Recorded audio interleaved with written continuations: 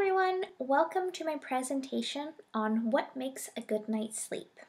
I am Stephanie Pollock, a student occupational therapist. Before we begin, I wanted to express my gratitude to you for joining me today. I also want you to acknowledge and be grateful to yourselves for taking the time to invest in you and your child's well being today. With that, let's dive in. Today I will briefly cover the following topics. First, we will do a quick progressive muscle relaxation exercise. Then we'll cover some sleep science and discuss the sleep stages. And then I'm going to go over some common mistakes and some sleep strategies to help with that.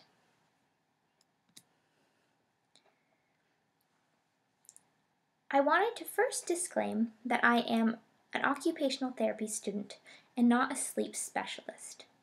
Today's workshop will be general in nature and will not discuss sleep problems such as insomnia. With that, if you or your child are experiencing significant sleep problems that are impacting your ability to function in everyday life and complete the things you need and want to do, I hope this workshop can help you. But if you're having worries beyond this workshop, I would highly recommend you speak to your family doctor.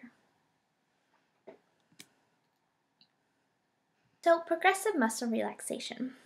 As mentioned in the previous caregiver workshops, progressive muscle relaxation, or PMR, is a great tool to help children and adults de stress by recognizing and releasing tensions or anxieties.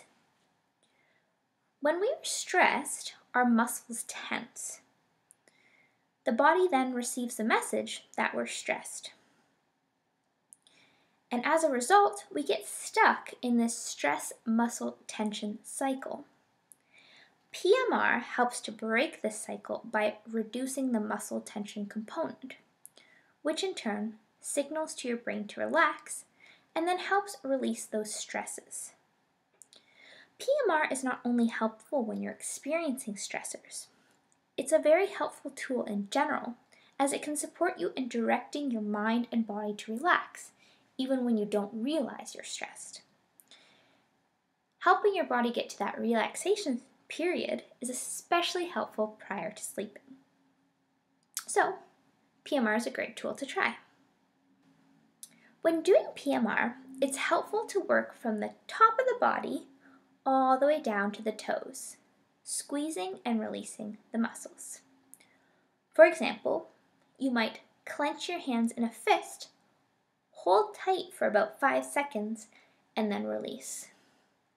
Later on, you might do the same activity with your toes, squeezing them in, holding, and releasing. As you can feel, your body learns to relax as it feels the difference of tension and relaxation.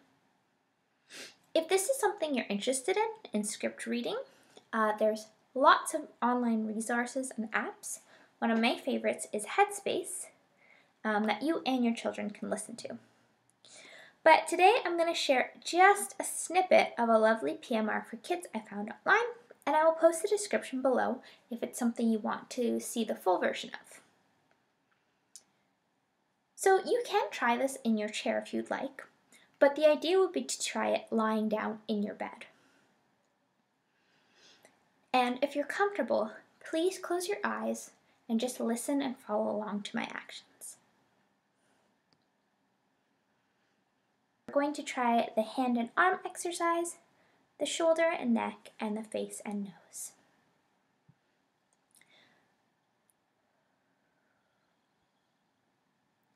Pretend you're squeezing a whole lemon in your hand.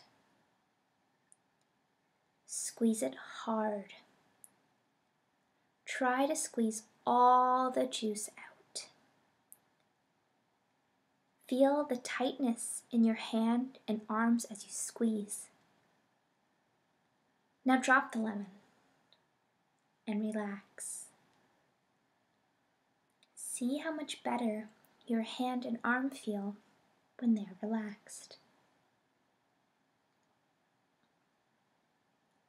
Now pretend you're a turtle you're sitting out on a rock by a nice, peaceful pond, just relaxing in the warm sun. It feels nice and warm and safe here. Uh oh, you sense danger. Pull your head into your house. Try to pull your shoulders up to your ears and push your head down into your shoulders. Hold tight. It isn't easy to be a turtle in the, a turtle in the shell, but the danger's now past. You can come out into the warm sunshine, and once again you can relax and feel the warm sunshine.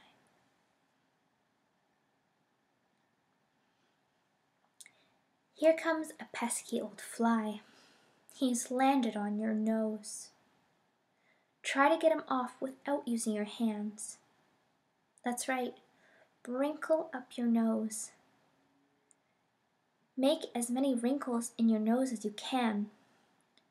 Scrunch your nose up real hard. Good. You've chased him away. Now you can relax your nose again. So thank you for trying this little bit of PMR with me. Um, just being mindful of time, I only wanted to give a small snippet of the script, but again, I will post the full script in the description below if you want to try the exercise.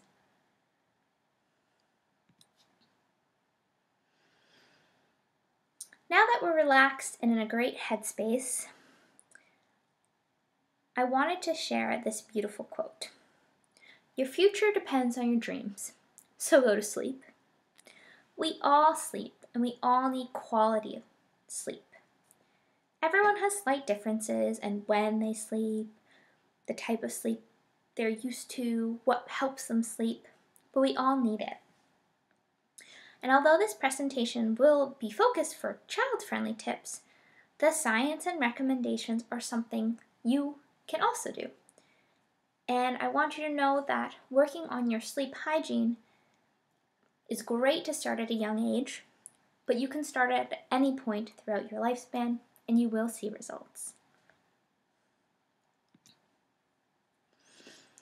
With that, sleep is so important at all ages. Over the average person's lifespan, we spend 26 years sleeping. So it's something we should be pretty good at, right? Well, actually, we spend an additional seven years over our lifespan trying to fall asleep.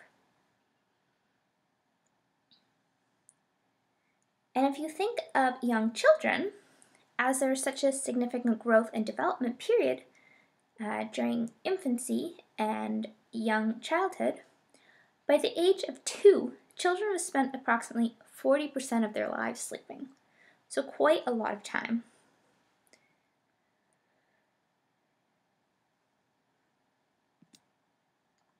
So, why do we sleep? Although we're not consciously aware when we're sleeping, our bodies are very active. Sleep allows our minds and bodies to do important processing, like learning and consolidating memories, restoration from wear and tear of regular day, as well as healing when we're unwell, and to strengthen our body systems so we can grow healthy and strong. We know that kids who regularly get the right amount of sleep have improved attention, behavior, learning, and so much more. So, sleep is very important for health and well being, especially for children as they develop. Moving forward, I think we can all think of how we feel when we've had a bad night's sleep. We have trouble functioning in the days to come.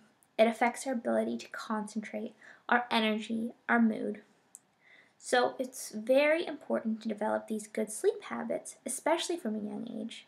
But again, it's never too old to begin using the strategies either. Before we get into the strategies, it's very important to recognize the uh, stages of the sleep cycle and how the different strategies apply to them. So you may or may not be familiar. For those of you who are, this will just be a brief refresher, and for those of you who are not, this will be a very simple explanation of the sleep cycle. and I hope it will help you understand the processes your body go through during sleep a little more. But if it's something you're very interested in, I would encourage you to look up more about the sleep cycle, as it's a very interesting and helpful topic to know. So, the sleep cycle has five stages, and it can also be broken down into REM, which stands for rapid eye movement, and non REM sleep. Non REM sleep is stages 1 through 4. During stage 1, you're just nodding off. Your brain begins to send different signals to let the body know you're falling asleep. As this period is relatively light sleep, you're somewhat aware and can be easily awoken, almost like a cat nap. Stage 2 is also this light sleep stage. Your brain begins to send signals to sleep, and if you woke up at this stage, it almost would be like you had a power nap. During stages 3 and 4, you enter a deep sleep or a restorative phase. This is when the body repairs the muscles and tissues, helps with growth and development, um, immune function, and builds the energy for the next day. And in this deep sleep stage, you're not going to have any muscle movements. And it will be much more difficult to be awoken as your body is no longer responding to environmental stimuli. Finally, we have rapid eye movement or REM sleep. During this phase of sleep, your brain becomes more active and your eyes quickly move in different directions, hence the name REM. Other functions like your breathing, heart rate, and blood pressure increase during this phase. This phase is very important for learning and memory, and it's also the phase where our dreams occur. We often think we're dreaming all night, but it's really only during REM which is conveniently the phase before we wake up.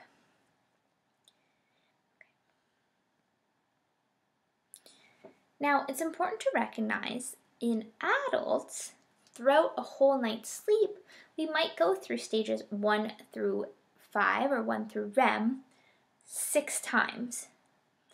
And each time we pass through REM, we have these micro awakenings, which we may or may not wake up for. Um, and even if you do wake up for it, chances are you won't remember. So this is a sleep cycle uh, diagram.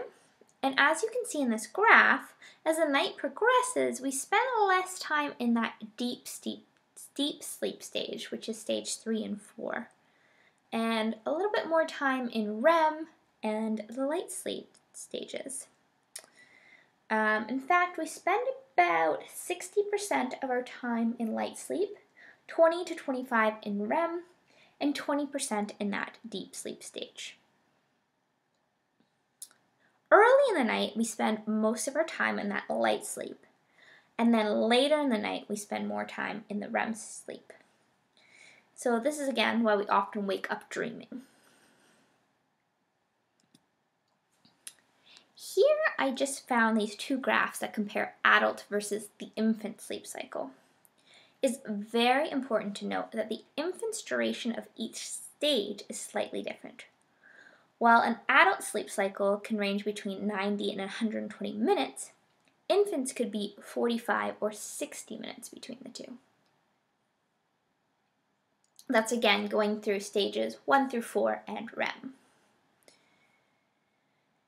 And unlike adults who spend that 20 to 25% of their sleep in REM, as infants are undergoing so many cognitive changes and brain development, they spend a much longer time in REM sleep.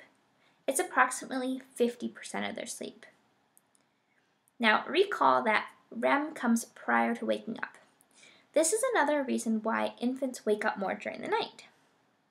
And the same is true for younger children as they spend a greater amount of time in REM compared to adults. Infants also have a lighter sleep pattern from an evolutionary perspective. They wake up easily so they can get out of threatening situations like being uncomfortable or being wet or being hungry. Fortunately, babies eventually learn to self soothe and will get back to sleep without needing mom or dad. And as a child grows, the sleep cycle will start to look more and more like an adult. That means less and less time is spent in REM and simultaneously, the sleep cycle itself lengthens. So, eventually, by the school age, your child should be sleeping in cycles of about 90 minutes.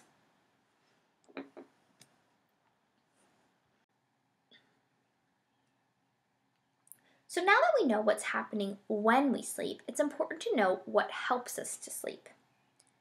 The two systems that help our body know when to sleep is our sleep wake homeostasis and our body clock or circadian rhythms.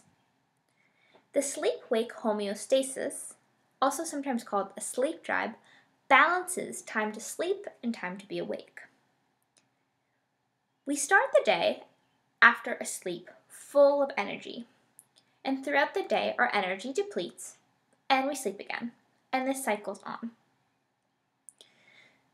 But as you know, you don't always start the day with the most amount of energy you have periods of greater wakefulness and sleepiness. This is our circadian rhythms. The circadian rhythms are controlled by a part of the brain called the suprachiasmatic nucleus, or SCN, which responds to light and dark signals. The SCN sends messages to other parts of the brain which influences sleepiness such as change in body temperature or the releasing of hormones. For example, in the morning, exposure to the S- exposure to light, the SCN signals the brain to increase body temperature and delay the release of melatonin. Conversely, when the SCN processes darkness, melatonin levels rise, promoting sleep. A good thing to remember is to limit light at night, especially blue light, and use red or that natural sunlight in the morning to support waking up, as this will help your SCN send the correct signals. So, how much sleep do we need? This chart is based off of Caring for Kids, which is a pediatric website, and the study was based off of the American Academy of Sleep recommendations. So, as we grow and develop, we need different amounts of sleep. Newborns can sleep as much as 18 hours a day, and these can be in bouts of 3 to 4 hours. As they enter 4 to 12 months of age, they sleep an average of 14 hours per day, and this includes naps in the day and around 6 to 12 months, they may start taking less naps during the day. Toddlers sleep between 11 and 14 hours in a 24 hour period. Regular naps are still important, but naps later in the afternoon maybe should be avoided as they can interrupt nighttime sleep. Young children from age 3 to 5 typically sleep 10 to 13 hours per day. Scheduled nap times are still very common around this age. If you find your child is resisting a nap, you could still have a scheduled nap time that just has some relaxation and downtime um, instead of any vigorous activity, so they can choose to nap or just relax. It's important to know at this age there are some sleep problems such as resisting sleep, to um, just because of that kind of control, they want to stay up later, or trouble with nightmares. So I will touch on some strategies to do to try later on. And finally, older children sleep should sleep around 9 to 12 hours, teens 8 to 10, and then adults 7 to 9. Hopefully, this list uh, doesn't surprise you. Um, as you can see, newborns, babies, toddlers, they need a lot of sleep. Even children at that school age, a lot of sleep. And this is because we're often not getting enough sleep. Um, so, naps are encouraged as long as they're scheduled and routine, which we'll kind of get into later on. And for your own health as well, trying to get that approximately eight hours of sleep is very, very important for health. So, when going over healthy habits, remember to try to apply them to yourself as well.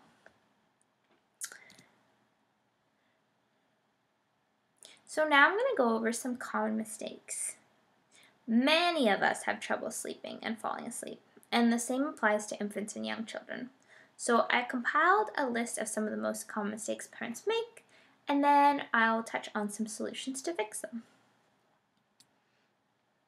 The first is misreading sleepiness cues. Signs of tiredness include rubbing eyes, yawning, fussing, and in terms of decreased attention, you know, they may not longer be playing or focused on you. Conversely, signs of overtiredness are that intense eye rubbing, big yawns, crankiness, agitation, and maybe even more wired. So, an overtired child will have more trouble sleeping.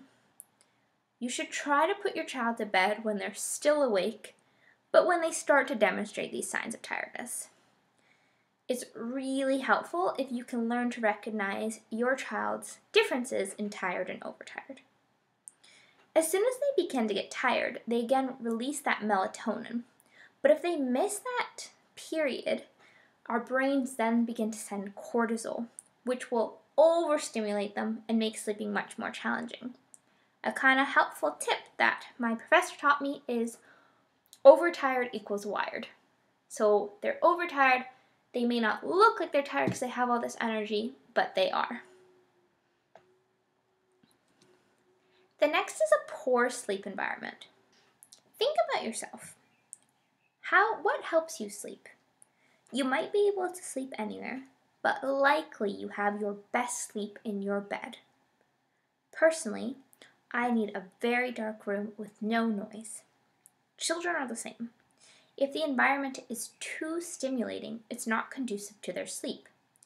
And stimuli can include noise, light, visual cues like toys, etc. If we have too many activities going on, we don't focus on sleep. We need to condition our brains that bed equals sleep.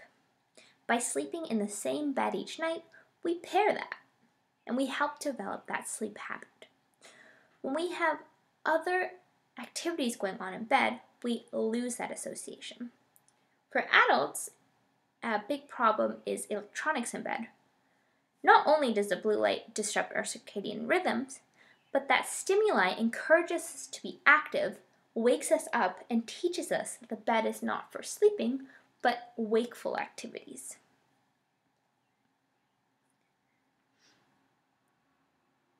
So, for children, just be mindful when adding things like mobiles or toys to their bed. If it supports their sleep, then it's fine. But if you find they're not sleeping, try some trial and error and reduce that. Uh, if you find noise is needed, perhaps just a little white noise or just a simple music box. Another thing is inconsistent sleep locations. Now, when children are still in that infancy stage, because they're sleeping upwards to 18 hours a day, they really can sleep anywhere.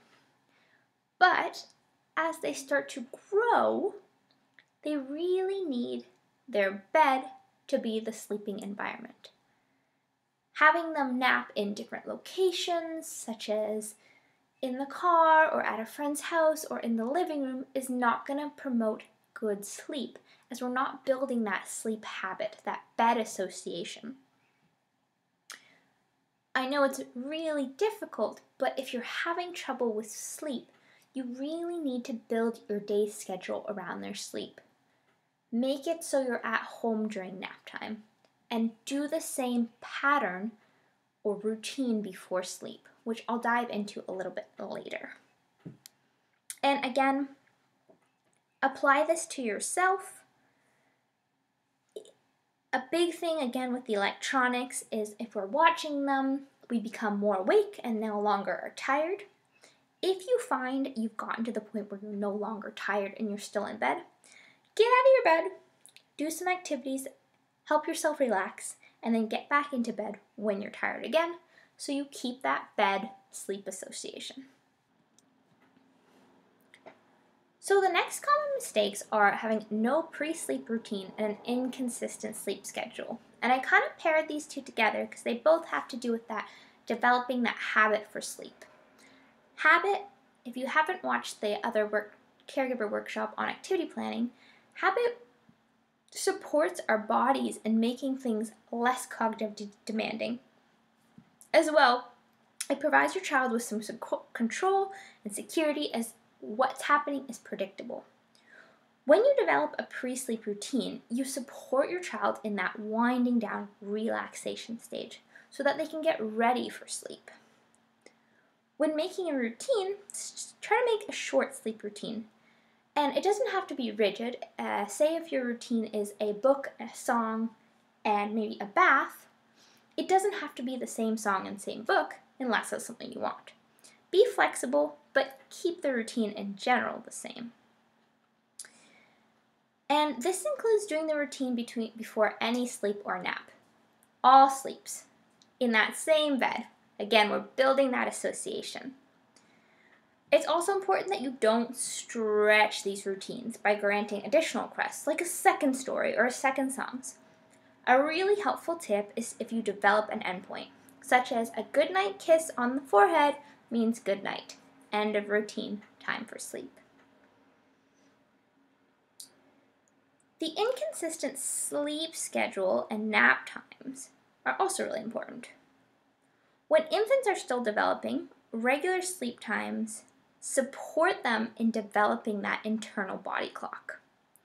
With regular sleep and wake times, your body learns when it should be awake and when it should be sleepy.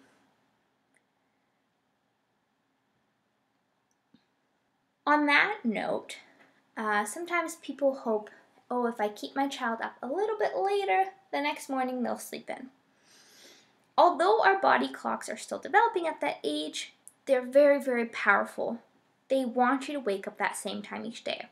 So if you stay up late the night before, your child's likely going to wake up the same time as they usually do and just have a very tired day with a lot of fluctuation. So try your best to stick to those sleep wake times. The next is staying with your child until they've fallen asleep. Now, if you're co sleeping, this doesn't really apply, but if you're a parent who wants to have their own sleeps in their own bedroom away from their child, then this is a common issue. Remember when I mentioned in the REM cycle we have those micro awakenings? As adults, we don't tend to remember them, but children do. They wake up and begin to process what's happening. If you're no longer there, they look for you to help them fall back asleep. As this is part of their sleep routine, they're used to you being there. This again goes back to that having a clear endpoint. During the bedtime routine, let your child know you're around, kiss them goodbye, and then let them know you've gone. So, this is one strategy that can support your child in recognizing that they can fall asleep without you. Now I just wanted to mention some brief strategies based on the different tips I've kind of already gone through. The first is things you can do during the daytime. Be active. Use that energy up. You have those periods of wakefulness and sleepiness and respond to them with what your body needs. In those wakefulness times, be active, and when your body needs that downtime, relax. It's great. It's what your body wants. Also, eating those nutritious meals and at the same time each day. That routine is going to help build those periods of wakefulness and sleepiness again. So you're not going from moments of high energy to crashing. You kind of stay more stable. Another thing is to avoid caffeinated food and beverages. Again, they'll disrupt, they'll keep them awake longer, and then your whole patterns get kind of changed around. Next would be get lots of sunlight during the day. It helps with the circadian rhythms and then dim those lights at night. Again, to help with their circadian rhythm. Finally, try try your best to have that consistent sleep and wake time. Even if you went to bed a little bit later, your body wants you up at that same time. So try to follow suit. The next is a little tip for the bedtime routine. And a common fun one to use is the five B's.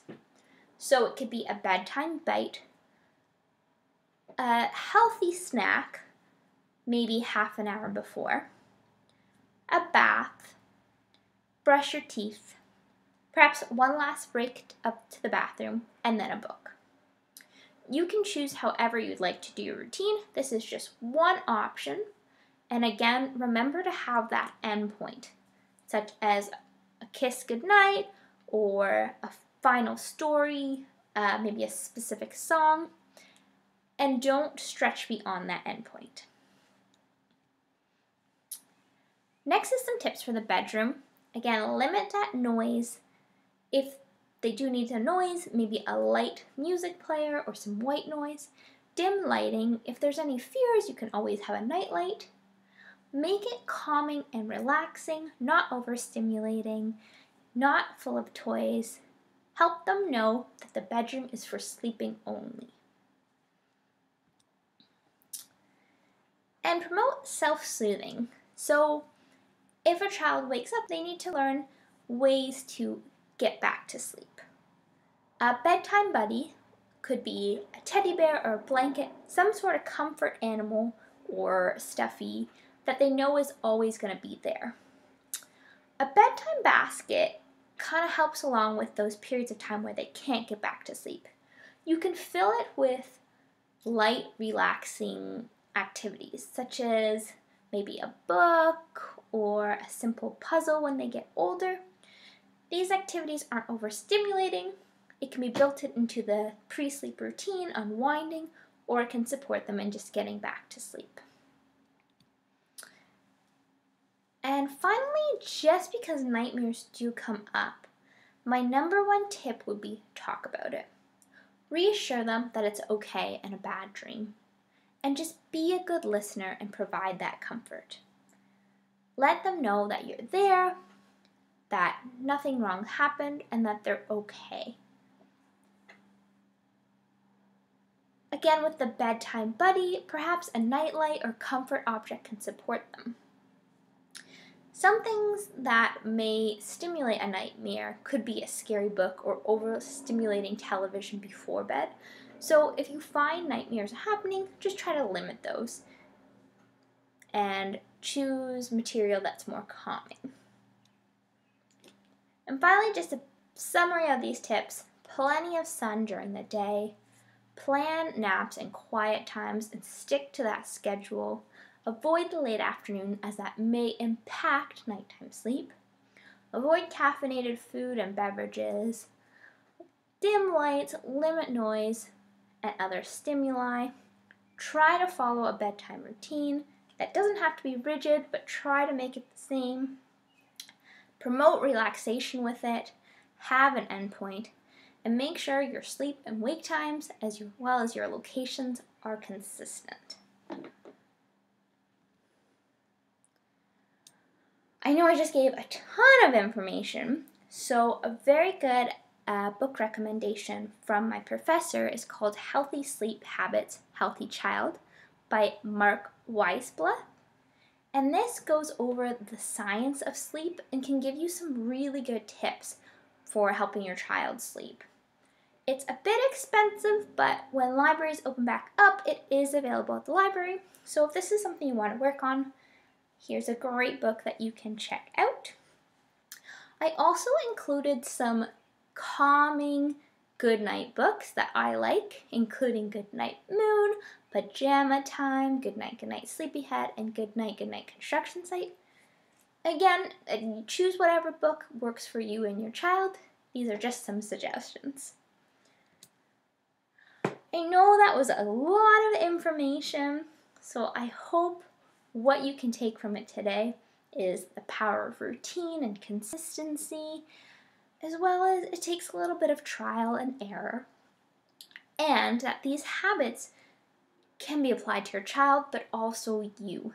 Healthy sleep habits help us all and can make each day so, so much better when we're not fluctuating from sleepy to tired, when we're more even keel. So I wanted to thank you all so much for listening to this workshop and I hope you guys all have a beautiful sleep tonight. Thank you so much. Before I forget, I also have the references and I will highlight the one that is the PMR script if that's something you want to do. Thanks and have a great day.